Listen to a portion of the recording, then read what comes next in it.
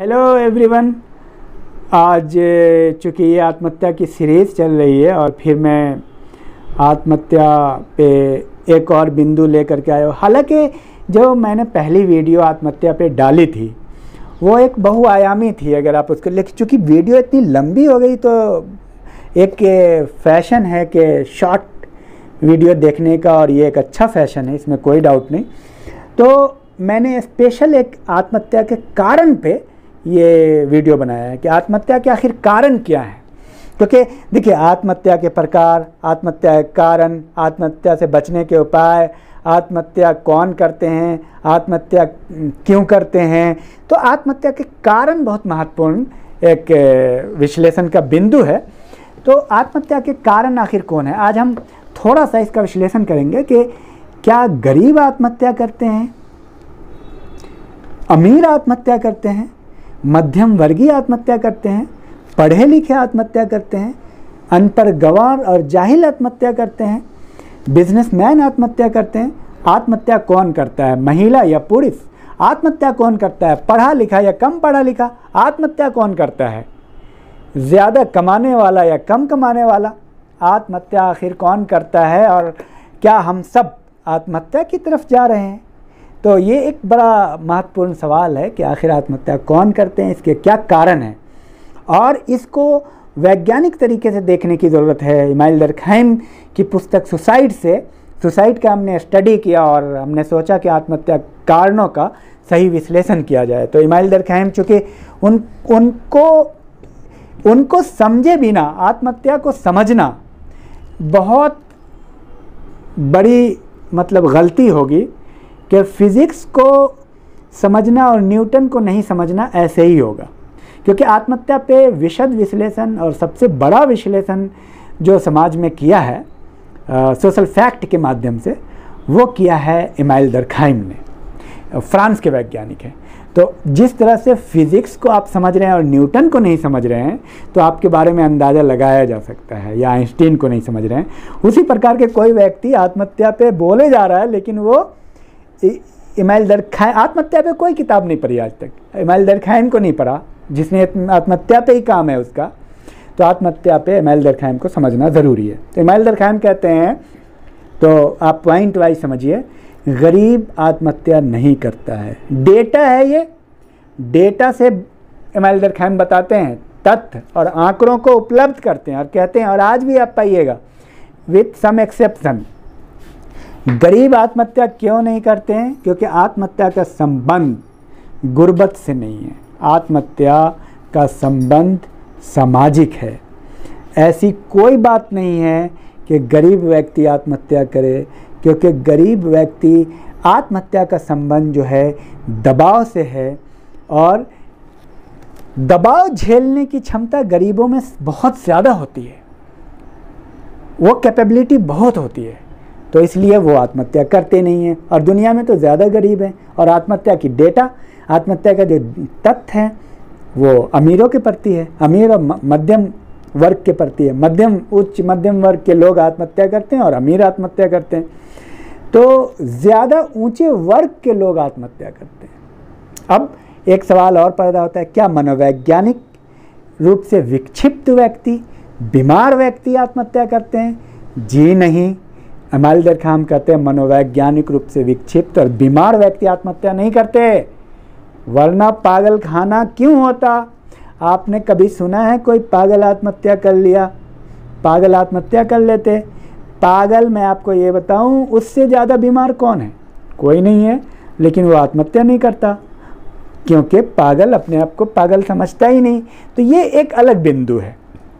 तो बहरहाल साइकोलॉजिकल यानी कि टेंशन वाला व्यक्ति आत्महत्या करता है। तो टेंशन वाला व्यक्ति आत्महत्या नहीं करता, ये पहले भी क्लियर किया जा चुका है, क्योंकि कोई भी व्यक्ति दुनिया में ऐसा नहीं है जिसको टेंशन नहीं है।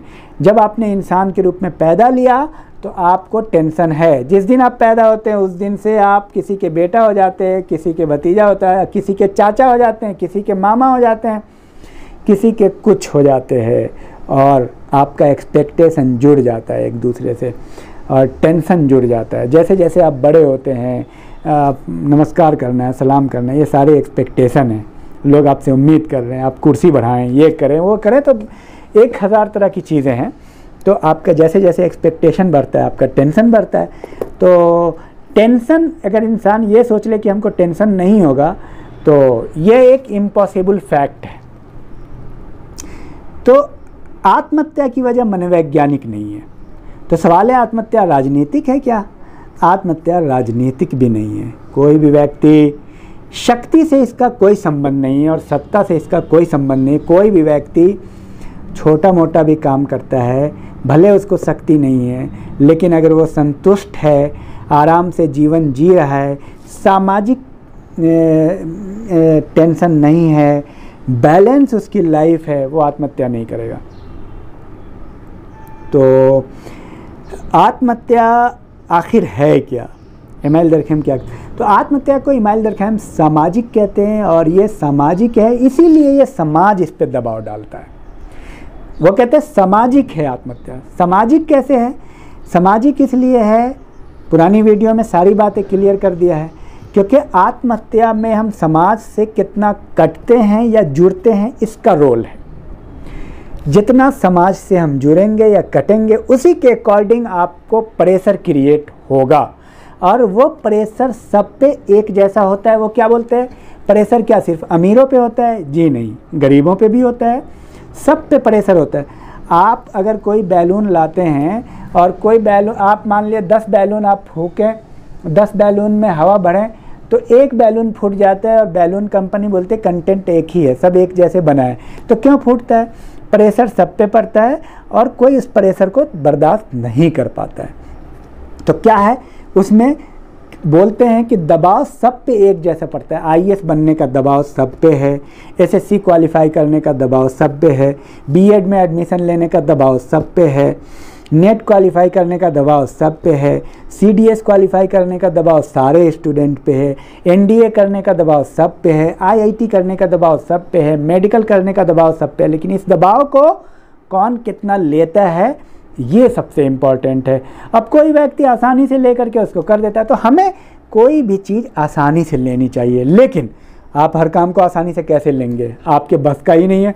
अब एक मिनट के लिए रात में सोचा आई बनेंगे सुबह में, अब हो जाएगा। तो आप पहले अपनी क्षमता का भी मूल्यांकन करें। ये कोई मोटिवेशनल क्लास ऐसा नहीं चल रहा है कुछ भी आप सोच ले। हमने सोच लिया प्रधानमंत्री बनेंगे, आसान है आसान है, हो जाएगा।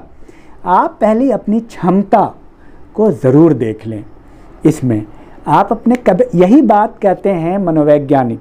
सी एच कूले कहते हैं फ्राइड कहते हैं। आप अपनी क्षमता का मूल्यांकन करें और क्षमता का मूल्यांकन करने के बाद अपने बारे में सोचें कि आप किसको डिज़र्व करते हैं। मैं तो मैं तो ये जानता हूँ कि एक क्लास में सौ विद्यार्थी होते हैं, सौ विद्यार्थियों में पचास विद्यार्थी कहते हैं आईएएस की आईएएस की तैयारी करेंगे और सच्चाई है कि उसमें एक, शायद कोई एक डिज़र्व करता होगा आईएएस की तैयारी के लिए। तो ये तो डेटा है तो बहरहाल इस चीज़ को हमें समझने की ज़रूरत है कि किस प्रकार से मतलब किस किस तरह से आत्महत्या किन किन चीज़ों को लेकर के आत्महत्या का आंकड़ा क्या है, आत्महत्या के ये कारण हैं। तो बहरहाल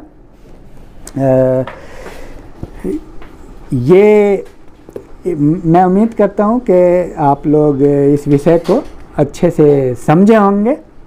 और नेक्स्ट वीडियो में और भी आपका अगर कोई प्रश्न होगा तो कमेंट बॉक्स में आप प्रश्न करेंगे। Thank you